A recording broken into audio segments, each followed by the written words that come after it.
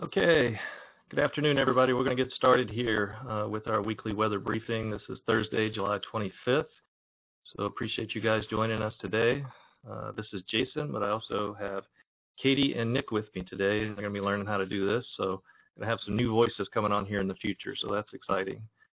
Uh, we're going to talk about some highlights. I got the uh, the football up there and the, the fall colors because that's what it almost seems like the last few uh, the last few mornings. We've had temperatures, excuse me, in the 50s and 60s, in some cases well below normal. So uh, certainly seems like we're headed for that season, but unfortunately we're still in July, and we'll have that forecast coming up as well.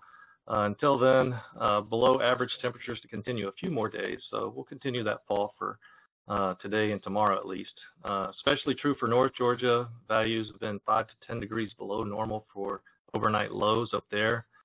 Uh, dry conditions to continue through the weekend, uh, in this case, record-setting dry environment, and we'll touch on that here in the next few slides.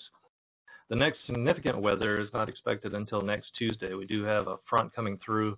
Uh, ahead of that, some low thunderstorm chances begin on Monday, but we should see increasing rain chances for Tuesday. Um, there is some uncertainty that remains in the speed of the approaching front, uh, but we'll see uh, how that goes.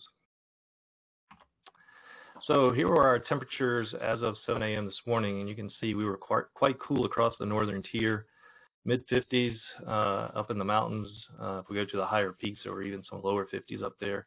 58 degrees in Rome, so uh, we're looking at anywhere from 7 to 10 degrees below normal in some cases. Uh, lower 60s across the western tier there, and even some lower 60s across Macon. So uh, this has been, uh, along with the dry air, uh, making it feel even cooler. This has been a nice respite from what our normal Julys are typically like. And what's the reason for this? Well, we had a cold front that came through, and you can see where that front is now. Uh, it has made its way all the way into uh, north central Florida. So pretty unusual for this time of year for such a uh, strong front to make it that far south high pressure building in uh, across the Midwest, just southeast of Chicago. You can see where the high pressure was centered this morning. And so that's providing uh, the cooler temperatures and the drier uh, air over our area. Speaking of dry air, here's a loop uh, that we call this the water vapor imagery, and it shows the, the moisture content across the area. Uh, the orange colors indicate the driest of the air. Um, you can see that's pretty much socked in through the Tennessee Valley, uh, through our area, and into the Carolinas. Uh, a lot of uh, really dry air there. The deep moisture right now is confined to Florida along that frontal boundary, so uh, we really don't have any deep layer moisture anywhere around us. So we can probably expect these conditions uh, to continue for quite a while. Not only is it dry, but it's record-setting dry. So um, this is a little bit uh, difficult to discern, but um, the balloon release from this morning uh, showed 0.71 inches of moisture content. And so uh, just to put that in perspective for you, the previous record for the day was 0.91. So we really uh, shattered that record for this morning as far as the amount of dry air that we have in the atmosphere to work with. So um, typically this would be uh, amongst our highest as far as moisture content goes, and turns out this has been our lowest. So uh, looks like we could get some additional records here for as far as dry air goes uh, in the next couple of days as well. So this is uh, showing that moisture content from that previous slide, just uh, showing it on a map-based version here, and this is the con moisture content expected this afternoon. All you got to remember here is if we get to the orange and yellows, uh, we're looking at chances for thunderstorm development. Anything that's in that green or blue, we really can't get any thunderstorms going. So uh, you got to get to 1.3 inches, which is in that orange and yellow, and the Atlanta value for today 0.85 by this afternoon. So uh, no chances of rain. And if we just take this through time, here's the Friday afternoon moisture content. We do increase a little bit across north and central Georgia, but we're still in that green shading uh, still well below an inch uh, right there at, uh, for most locations uh, across the mountains, and then right at an inch for Atlanta, 0.98. So uh, still not looking for any chances for precip through Friday. We'll step quickly through this for Saturday. You can notice across central Georgia, there are counties there. We're starting to creep into that yellow shading, so we are going to get some return moisture. We're going to be borderline for getting some thunderstorm development down there. Uh, should stay south of the Columbus and Macon areas initially for Saturday, uh, but our extreme southern tier could see some slight chance of uh, showers and thunderstorms uh, beginning. But still over North Georgia, looking at that Atlanta value, still below an inch, uh, well shy of any chances of precip um, for this time of year, which is pretty remarkable for consecutive days um, through July even into Sunday, you can see we're starting to see some changes, especially out west and then to the southwest. We're starting to get that uh, yellow shading uh, coming up across the I-85 corridor. So still pretty low for this time of year, but we should see some rain chances starting uh, anywhere south of I-16 and west of I-75, call it, for Sunday afternoon. Elsewhere, once you get up into uh, east part of I-20 up toward the mountains. Uh, not expecting any rain chances even for Sunday. So going to be mainly a dry weekend, and again, pretty unusual for this time of year. Things start to change early next week, as we knew they would, um, but uh, it's a cold front that's coming through. So this will be our second cold front uh, coming through uh, in consecutive weeks here. So this one also looks fairly uh, extensive as far as how far south it'll come. Usually they die out uh, across our area or even north of the area, but this one looks like it might come through as well.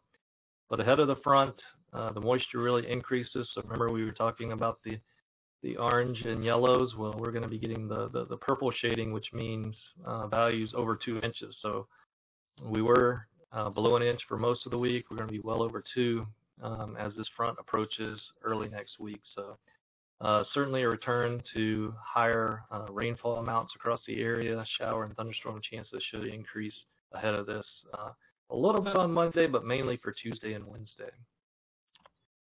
Here's the Tuesday, Wednesday forecast rainfall across the area, uh, 1 to 1.25 inches across the mountains, uh, around an inch across the northwest portions, and then uh, tailing off from there, but generally quarter to a half an inch uh, for most areas with this system. So we're going to be watching it closely. Um, certainly these values could change as this uh, front approaches and depending on how far, how much progress it makes. Uh, it is July, so there's a chance this front could stall out uh, across the area. If that should happen, uh, then we would expect rainfall amounts uh, to be perhaps higher than the values you see here. But we'll be watching it closely through early next week to see what happens.